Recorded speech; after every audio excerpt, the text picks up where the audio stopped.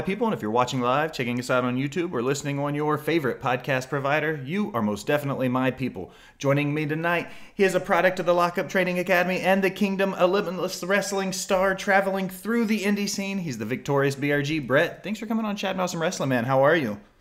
I'm good. How are you? Living my best life, man. Just kind of hanging out, enjoying the the evening. Um, I always like to start these interviews off always the same way, man. Uh, kind of a two part question. One, what wrestling did you have exposure to as a kid?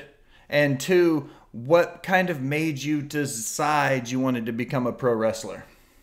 I got very easy answers for that. One, I hated wrestling growing up. And the second part to that question will actually answer how I got into it. Uh, in 2011, I was 13 years old. And um, at that point, I was hanging out with my friends a lot. So um, they lived like three doors down from me. And I would always go over and they'd always talk about wrestling. I'm like, okay, fine, I'll start watching it. So I started watching it January 2011. Edge got me completely into it because I was like a angsty 13 year old that liked everything rock and roll and like and thought that Edge was the coolest guy around. So fast forward to WrestleMania 27, I remember never being so excited for a match ever in my life for Edge versus Alberto Del Rio, and I remember that's type of energy that I've never had since until Edge returned uh, in 2020. But besides that, that match itself, and it's always funny when I tell people that, um, that match is what made me want to become a professional wrestler. Edge versus Alberto Del Rio, WrestleMania 27. It was an eight minute long match, but God, I was on the edge of my seat the entire time.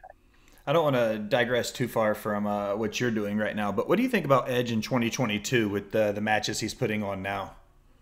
Uh, I mean, he is the fact that he's going out on his own terms and he's finishing up the career the way he wanted to.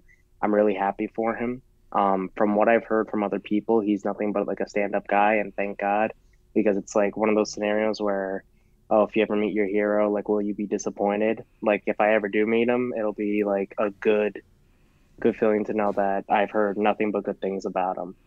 Um, the fact that some of the matches I've watched him have are like match of the year candidates it's fantastic that he can still go nine years later, and it feels like he hasn't skipped a beat since.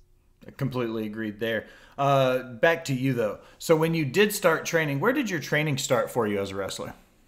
So right, so it's funny enough. I actually live ten minutes away from my original training school in Woonsocket, Rhode Island. Um, you know, they gave me the basics and everything, but it wasn't, in my opinion, it wasn't enough to where I wanted to go. A lot of the guys there just kind of like stuck there and just like only wrestled there. I wanted more. I wanted to travel. I wanted to do all these things. And I knew that Matt Taven and Mike Bennett were training down in uh, West Warwick, Rhode Island, which my mom had literally just moved to at that point. So at around I want to say 2017, I had about like three small, like very little, ex- three years of like little exposure to the wrestling business. And I went to go train with Matt, and it was primarily Matt that was training um, at the school at that time because Mike was on his way out because that was the year that he got signed to WWE. And Matt has been instrumental in the two years that I stood by him because he has him and uh, Vincent are two guys that literally showed me like character work is like a, such key component to wrestling that if you don't focus on a lot of your character work, the wrestling is the wrestling part. Like everybody's gonna remember the wrestling part, but are they really gonna remember the the character itself that you are? So they really showed me that that was the a big thing that you need to learn. And then it's so funny because at the Lockup Training Academy, who Ryan Waters is Matt Taven and Vincent's trainer, Ryan is so like nitty gritty breaking down a match to literally the smallest nitpicky things to where you get such a great idea of what psychology is and closing loops and making your matches just stand out amongst the rest, which I really enjoy. I feel like my path in wrestling has been the right way that I could have seen it because one, I've never stuck by the same coach. Growing up in organized sports, I always like learn different things from different coaches. You need to learn the same exact thing when it comes to wrestling. I feel a lot of people just stay at the one school and just let them say, "Oh yeah, you're doing great," and not get the proper critique in order to help them advance looking at what you were just saying, just kind of playing off what you were talking about, when you start at somewhere like the Lockup Academy that spends so much time teaching you the in ring psychology and building a match, and then when you get somewhere. Uh, with the Kingdom and Taven, and you were speaking on Vincent, some of the character draws. Uh, do you feel like you're a student of the game in the sense that you're just adapting and being a sponge and just taking all this in from these great guys you get to spend time with? Yes, absolutely. I mean, the thing you'll notice in some of my matches um, from years past that I kind of cater to what I'm learning at the time.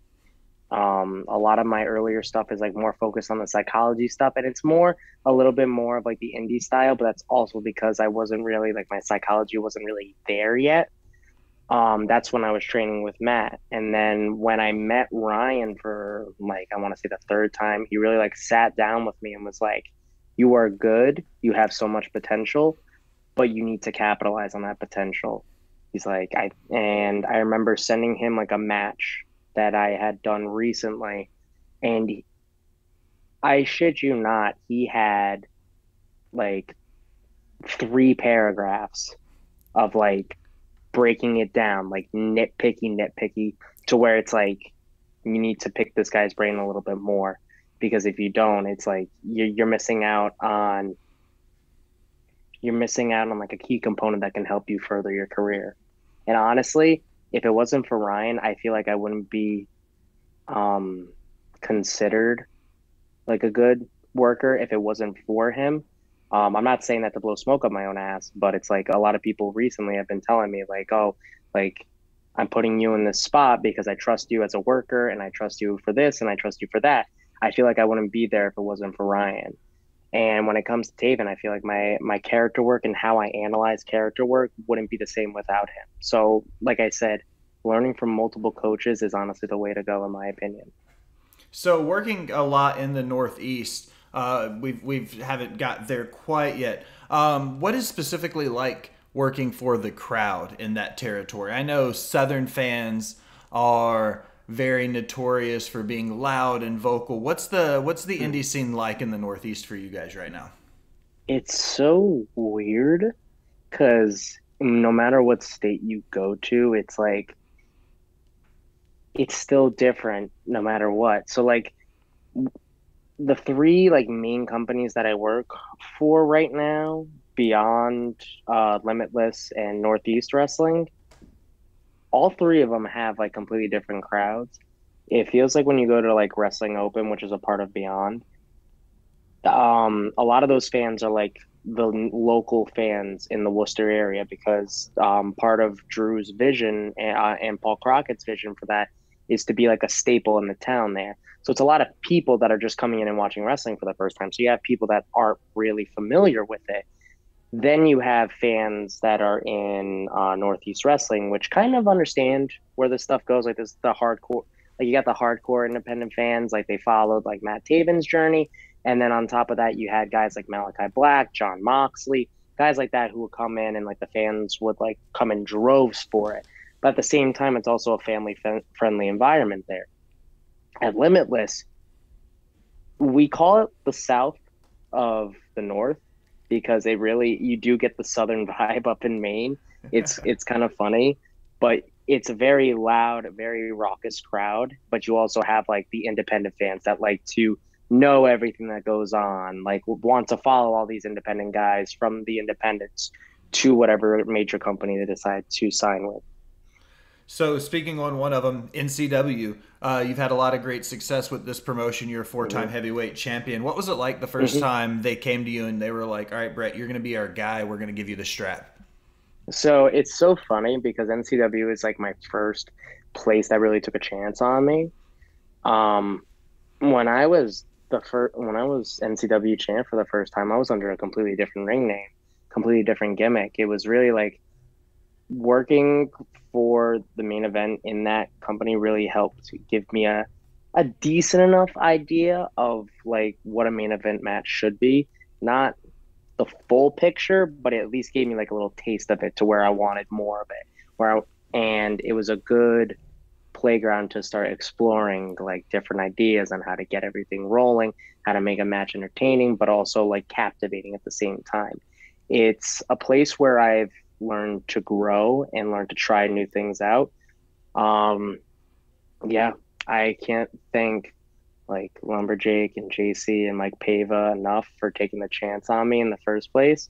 I remember when they told me, I was like, like kind of like thrown back because I'm skinny now, but like I was like 40 pounds skinnier then.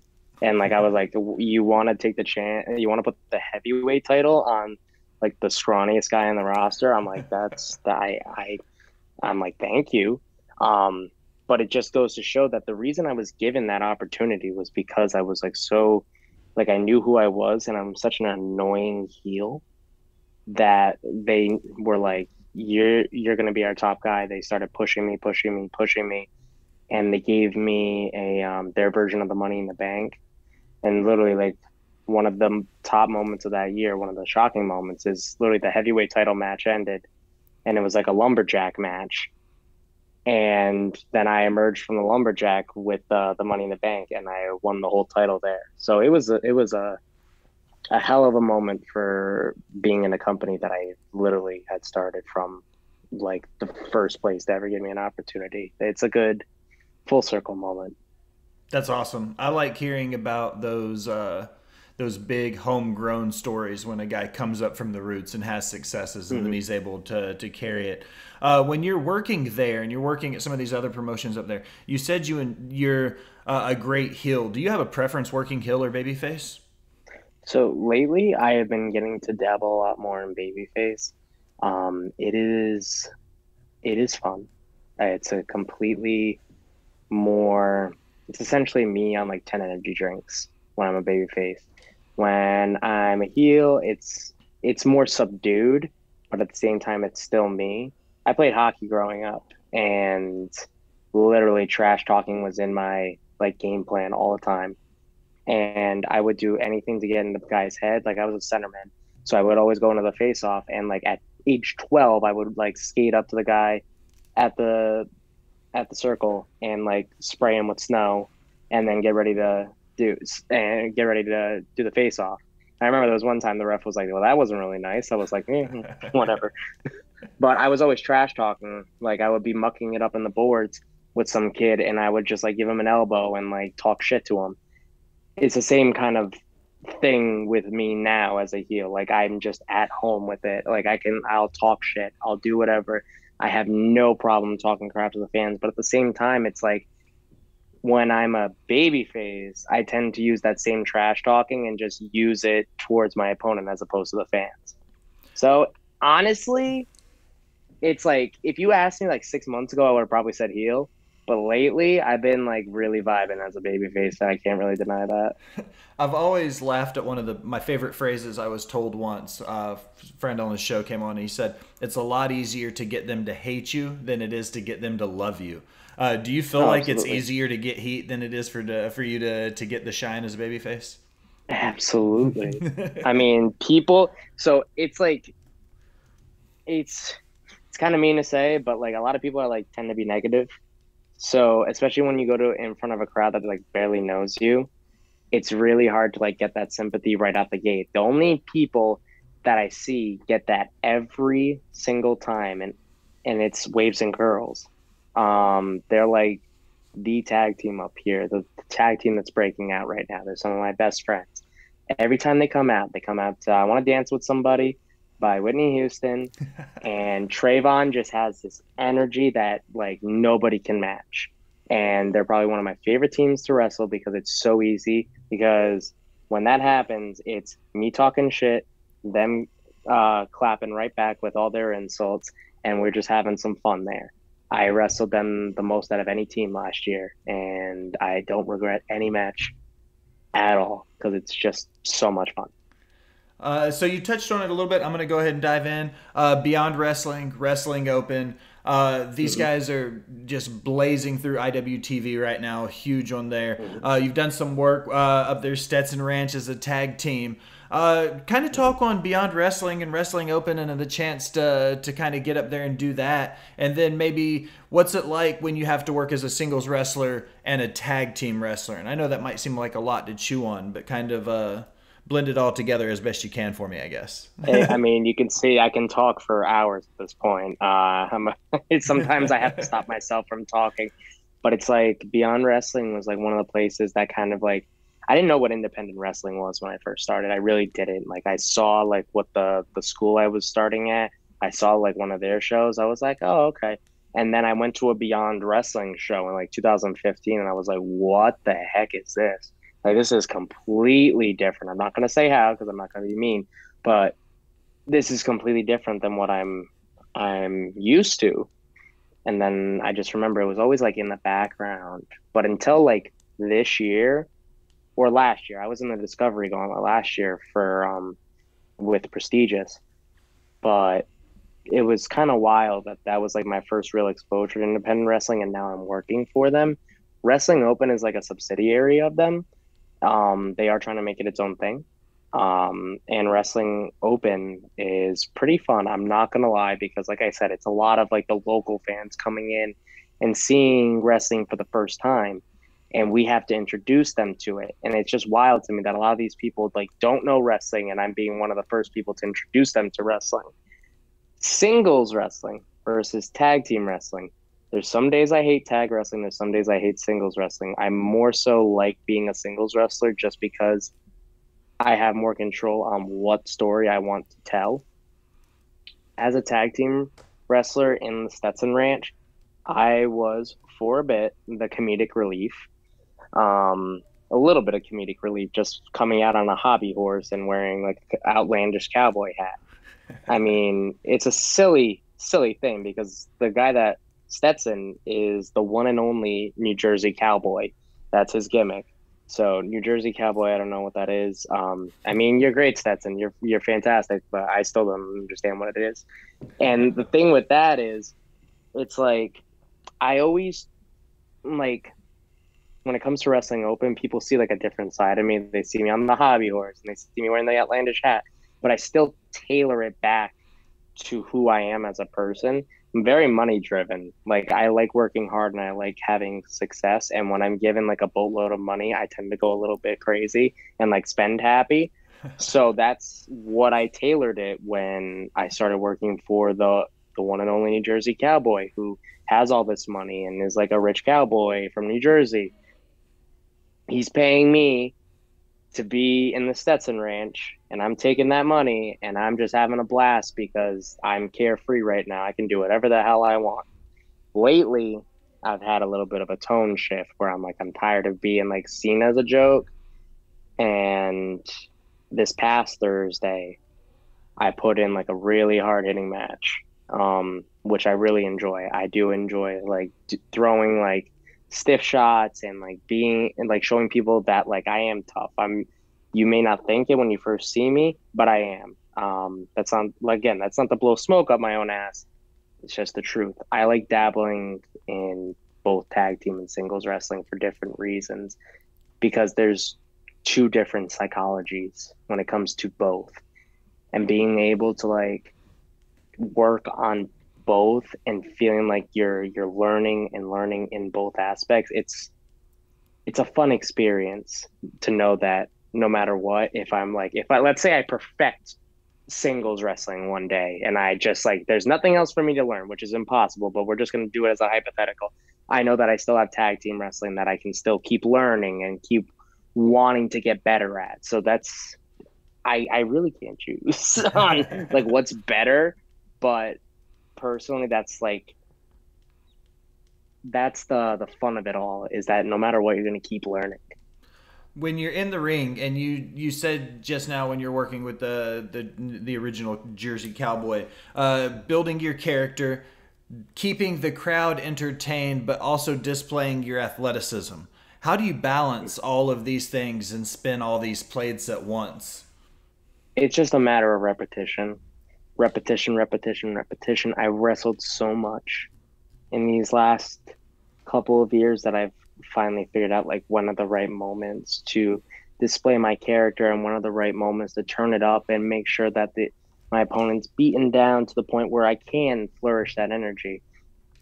The thing is, is you can't show all that energy right in the beginning or else if you bring that if you bring the crowd all the way up to a 10 then you can't really go any higher so you have to give them just like let's say a 6 right in the beginning of the match and slowly it builds and it builds and it's built and then you get like the full character at, at a 10 later on in the match when there's literally like you're about to finish the entire thing.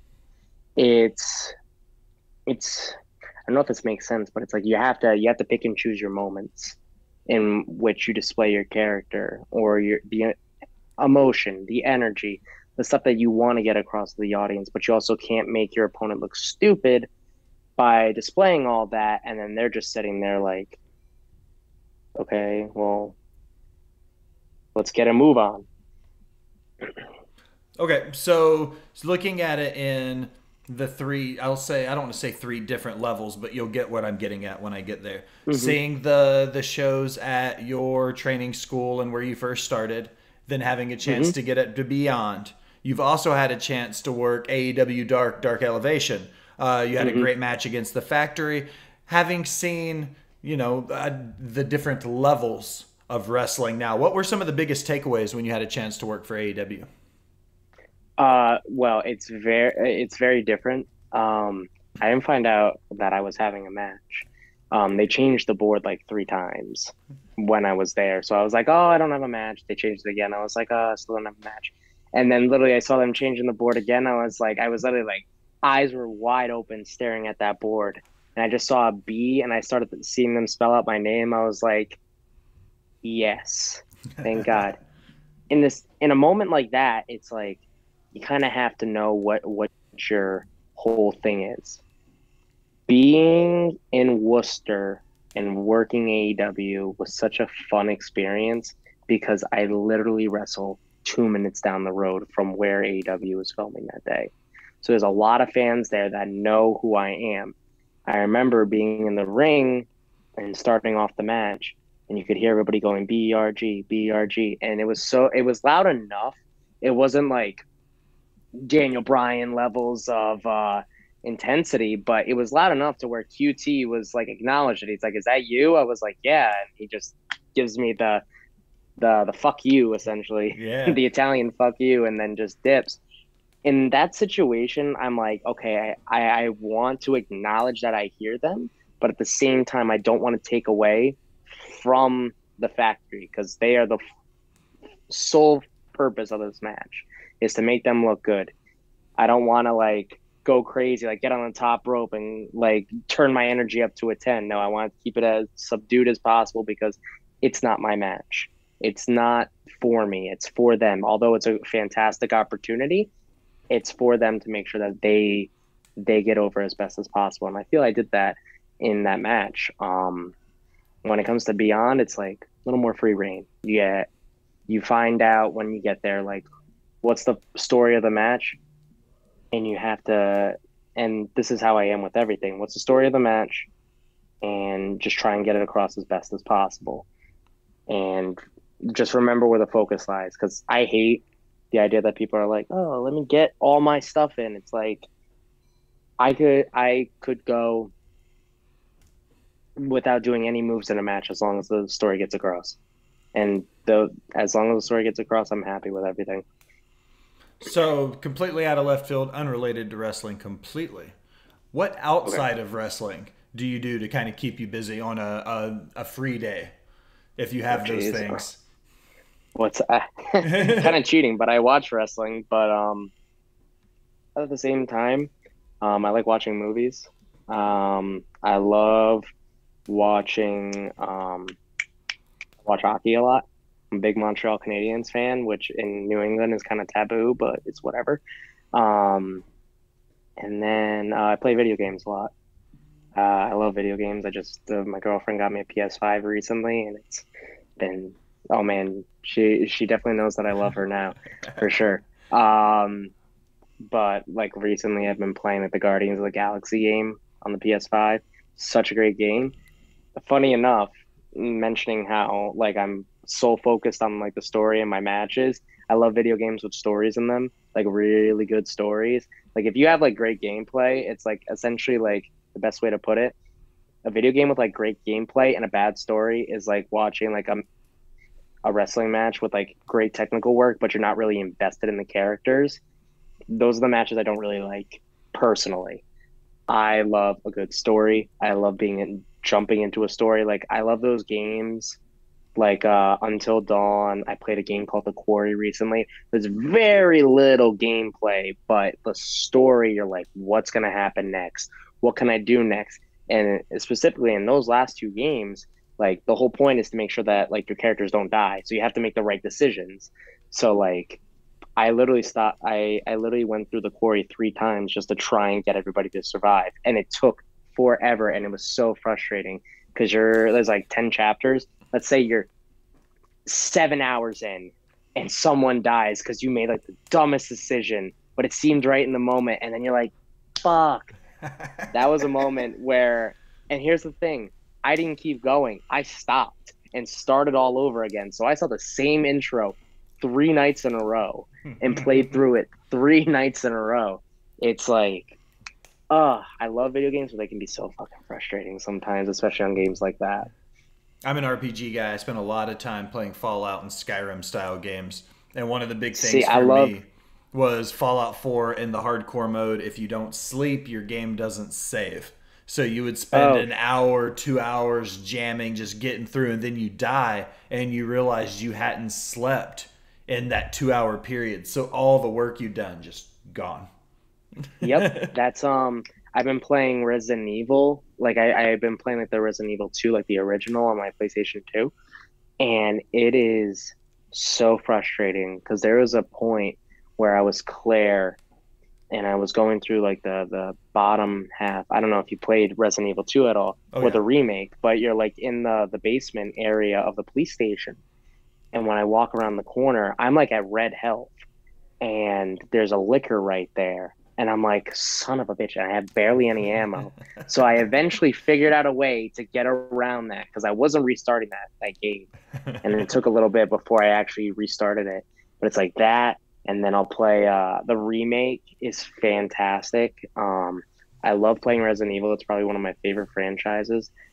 Um, what other games do I freaking like? Oh, you mentioned RPGs. I love Mass Effect.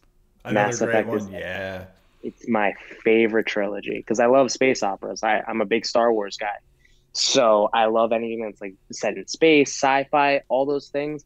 I'm really hoping Mass Effect comes out with a new game that's not Andromeda because Andromeda was hot trash. But I replayed the trilogy recently, and I'm still on three. Personally, like I like one and two. Three is okay. So like once I got to three, I was like, eh, okay, whatever. But like the suicide mission is like one of my favorite missions in like all of gaming.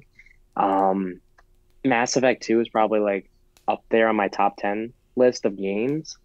It's just like I said, great story. Like I don't care about the gameplay as much, just the story. And that's like a perfect example of like a great story and a great game and oh man, I wish the the, the ending wasn't so bad in the, the trilogy. Oh, I wish it wasn't so bad, or else it would be like top tier, like number one, for sure. I feel like there's a lot of things, be it video games or movies or TV shows, where you get highly invested and then the ending sucks, and you're like, "What the hell was that?"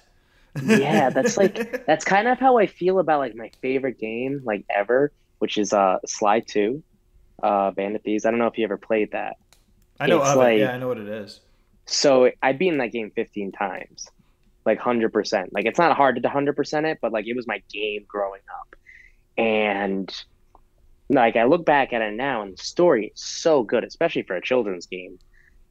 And the ending, you're like, uh, I mean, like it's fine, but it's like it's not as captivating as I once thought when I was a kid. Now again, it's a children's game, so like, what can you do? But it has a lot of mature tones to it, which I really liked. Excellent. All right, Brett. I close all of my interviews with five rapid fire questions. I got yours queued up. You ready? Yep. What's your favorite food? Tacos. Love tacos. What's your favorite movie? Um, Casino Royale. That's a great one. So, are you a Bond guy, or is it just that specific Big- one? No, I love Bond, Who's your favorite especially Bond? then? Daniel Daniel Craig. Perfect. Okay, I was gonna. Yeah. That doesn't count. That's not one of your five. Who's your favorite musician or performing artist? Oh, okay. Um, my favorite band in general is a band called Volbeat. I know Um, Volbeat. Yeah. Yeah, they're one of my favorite. They're like my favorite band. I just started listening. I just found out that they um got a new album that came out last year. So I was like, why didn't I know about this? So I've been listening to it. Another one, just to cheat a little bit, uh, Thrice. I also really like Thrice. I saw them in concert last uh, last October. Nice. What's your favorite venue you've wrestled in? Oof. Um. Ah, damn, that's a tough one. I am going to say probably the NEW Arena uh, out in Connecticut. The the energy's always there. It's a fun place. What is your favorite pay per view as a fan of wrestling? Uh, NXT Takeover New Orleans. I was Ooh. there. I saw it live. It was fantastic. The energy was like you can't you can't top it. It was so much fun. Best pay per view of all time. There's just something about being at a big fight energy pay per view event. No, just Mhm. about no matter what company you go to. If you go to a big event for a company and they really Mhm. did a good job of hyping it, just that electricity just makes you want to keep going. I've rewatched it like five times. It's such a fun pay per view. There's no match that like under delivers at all. All right, this is my favorite part of the episode, man. Plug your stuff. Tell everybody where to find you, what you have coming up, and what's going on. All right. So it's very easy to find me. All my social medias are very simple. Victorious underscore BRG. That's for Twitter, Instagram, TikTok. Uh, TikTok, I'm pretty famous on there. So if you want to give it a follow, feel free. Uh, you can be part of 258,000 uh, followers there. Cheap plug, but whatever. Um, and then this Saturday, upcoming, I have uh, Northeast Wrestling, the show without a name. Uh, for anybody that's in the area and wants to come by, uh, feel free. We have guys like Matt Taven. Uh, we, we have uh, Traevon Jordan facing Danny Ma for the heavyweight title. And then I will be facing uh, one half of the NEW Tag Champs Waves and Curls. I'll be facing Traevon's tag partner, Jaylen Brandyn. Uh, upcoming, we also have, you'll see me at Wrestling Open pretty much every Thursday uh, Worcester, Massachusetts at the White Eagle. Uh, do, do, do. Uh, we have Pro Wrestling Super Shows Genesis on November 4th. You can catch me there. And then for right now, I think that's it. Uh, oh, Pioneer Valley Pro Wrestling on October 22nd. You will find me there in uh, the Western Massachusetts area. Excellent, man. Well, I appreciate you stopping by and chatting about some wrestling.